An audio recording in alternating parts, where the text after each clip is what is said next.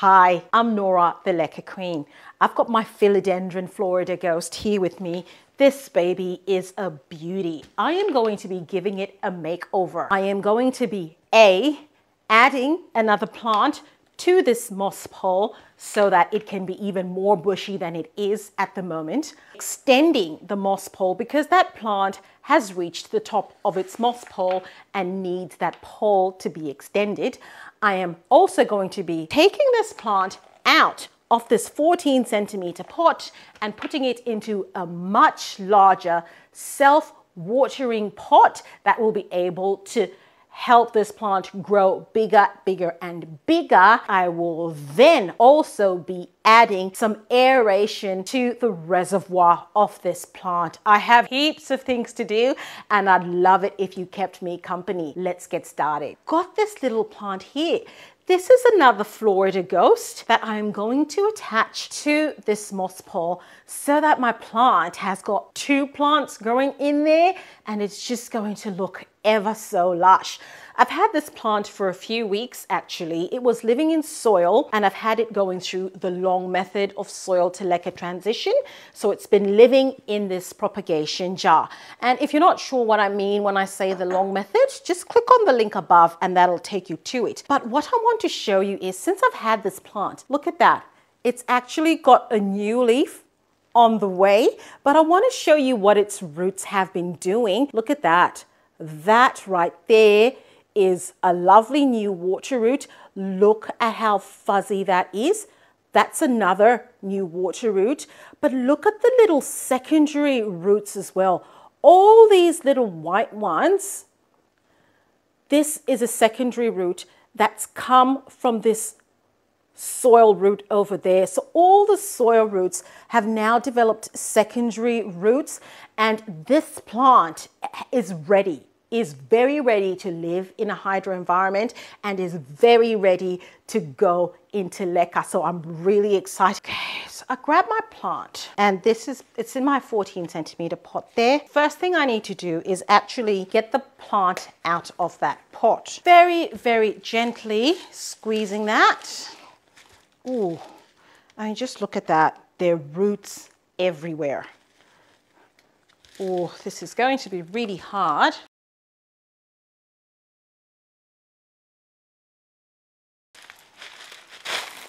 Oh, there we go. That there is my plant. Oh, I wish you could smell this.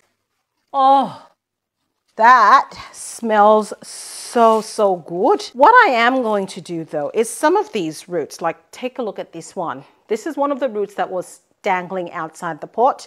Look at this bit, you know, I might just cut some of those off just to make sure that the roots that are going into my new pot are all viable and I'm not going to have any dead or dying roots anytime soon. Got my pre-sterilized scissors and I'll just chop some of those. That one there as well, just chop that. That there is what my plant looks like. That's looking really, really good. I have to be very careful because I don't want to damage any of my gorgeous leaves. So I'll grab, grab my plant and I'm just making sure that the root system of this plant is going to be in there. So it's just about there. That's where I place it. That's where the roots are. And that's where I want this one to be. And I'll grab my plant tie, my Velcro plant tie, and just fix this little baby. I don't want to nip any of the leaves. So just making sure that you're only fixing this to the stem and not the leaves. Get that in there like that.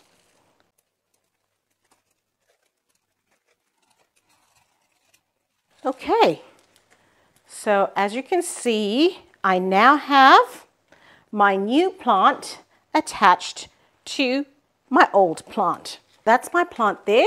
That's my new plant over there. And that is now attached to the pole with my old plant. Next up is I am going to repot this plant.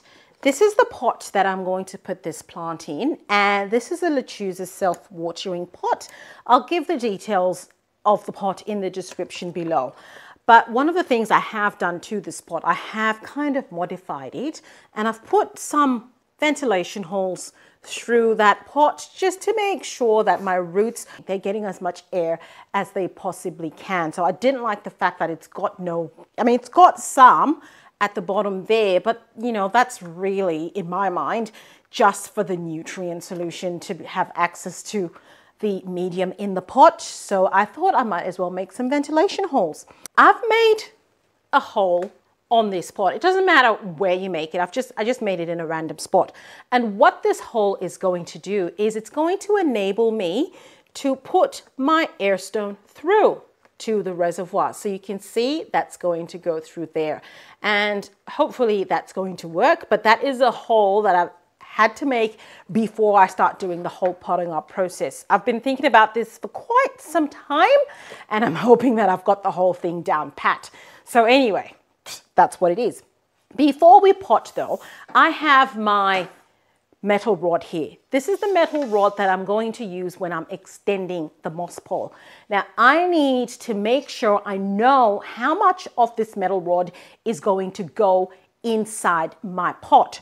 So I have to do that measurement. This is my pole there and I know that that's how much I'll need. So I'll put a rough guide. So it's about there. That's how much I know is going to be in my pot. So I've got my cable tie there just to help me know where I need to attach my moss pole to this metal rod. Okay, so now that I have all that sorted, I actually need to attach this metal rod to my plant before I can pot it up in that pot. There's just so many steps to this process. It's, it's quite exhausting, but it needs to be done. Uh, it just makes so, so much easier if you can do it before you start mucking around with pots. So I'll bring you down and I'll show you how I do that. So I know up to here is going to be inside the pot. So my plant is going to start going from here. So I know I need my roots to be on this way. So I'll grab my plant and when I turn it around like this, I want all this to be inside the pot. So I now attach this metal rod to my moss pole. I've got some cable ties here and I will just put those through and put that down for a second. And I will just secure that. So this metal rod is now secure and held on to my moss pole. I'll just put more around the length of that metal rod and moss pole. This is a very important step. When you get to the top of your moss pole, when you're attaching your metal rod to the moss pole, you want to make sure you leave a few centimeters from the top. So I will be putting mine over there. And the reason you do this is when you get to the stage where you're extending your moss pole, the new moss pole that you've got is going to go over the top off this old moss pole and sit on the outside of it. So this one will be on the inside and the new moss pole will be on the outside. So you want it to be able to slide in. But if you put your cable tie too close to the top, it won't be able to slide in. I hope that I've clarified that and it's not too confusing. So there, my moss pole is now attached to the metal rod. This is my leca in here that's been pre-soaking in Clonex Clone Solution. I will get my plant.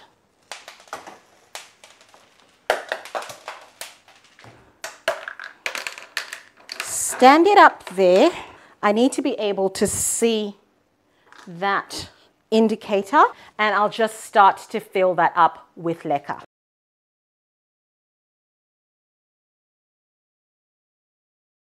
This is my plant here. It's looking really, really good. That pole is steady. I don't, I'm not supporting it in any way. My hands are over here.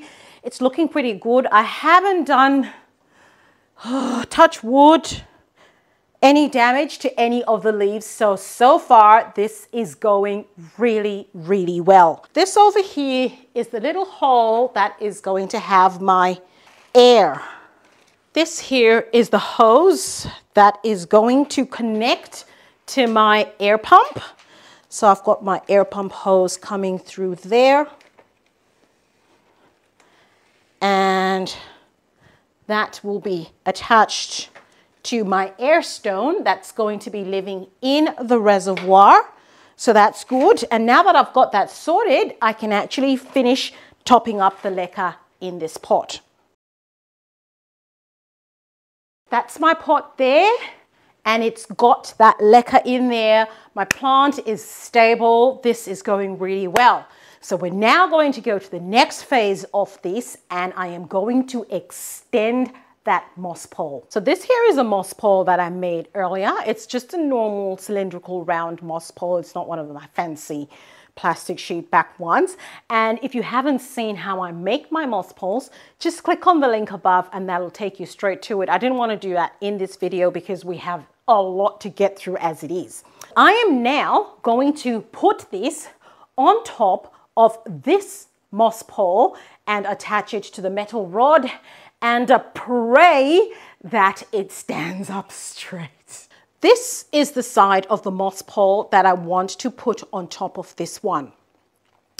This top moss pole is about a square or two. And when I say square, I mean these little squares that form the mesh. It's about a square or two larger than the one at the bottom. And that's because I want this one to slip onto that one. The one at the bottom is going to slip into the one at the top.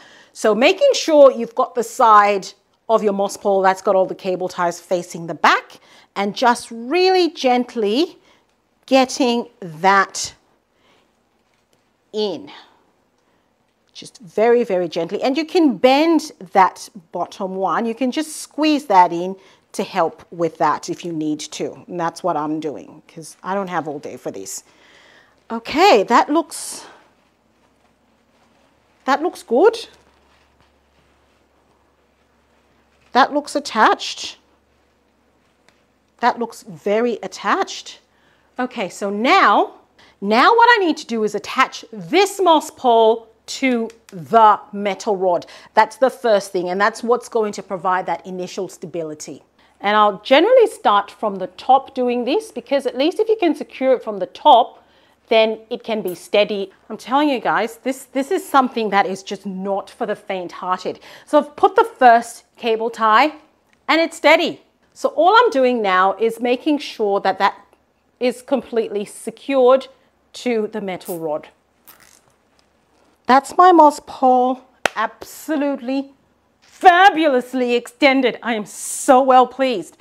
Now, the next thing that you can do is, you know where you've got that connection between the two moss poles, where the two moss poles meet, you can attach cable ties there just to further strengthen that bond. I normally don't do this because I think it's just, you know, there's no need. I mean, it's slipped in. What more do you want? It's not going anywhere. So of course now I'll just clip off the redundant bits of cable tie and my baby will be beautiful. She's glorious. She's absolutely glorious. Her pole has been extended. Thank God I didn't damage the new leaf that's coming through. I'm really wanting this plant to take off in a major way and do some serious growing this spring. So one of the things I'm doing is giving it continuous aeration. And I'm going to do this by attaching an air stone. This is a, this is a little air stone that I've got that I'm going to attach to an air pump. So I'm going to have an air pump running for a few hours a day and that's just going to be constantly replenishing the oxygen in my nutrient solution. One of the major problems with using semi-hydroponics as opposed to using active or full hydroponics is the fact that that nutrient solution is still, it's not active, it's not moving, it's not getting reoxygenated. So one of the ways you can actually get oxygen and air into your nutrient solution is using an air stone. So remember that little hole that I made in my pot?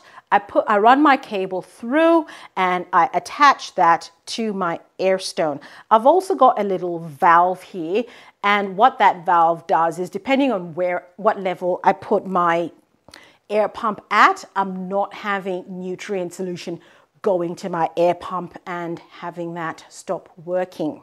So I'm not quite sure how this is going to work with my Lechuza pot, to be honest. I didn't try it because, you know, I like to be surprised. I like to try things live on air, as it were, and have them work. And you get a genuine surprise, a genuine reaction from me. And then that's good if it works out. But if it doesn't, that's really bad. So I've got my air stone attached to my valve and that's going through to my cable, my cable that's going to go to my air pump. Let's do this. This is my Lechuza pot that my plant is going to sit in. And this is what's going to be the reservoir for my nutrient solution.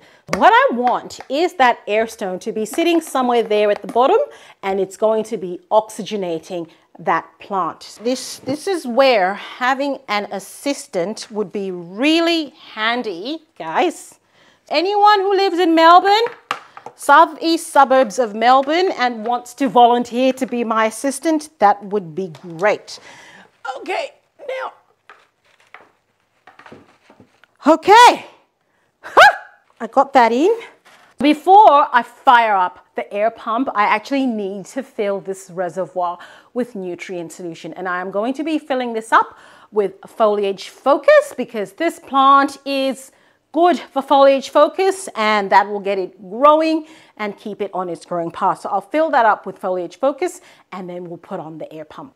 I got two liters of foliage focus in this jug and I'm going to put that in my reservoir.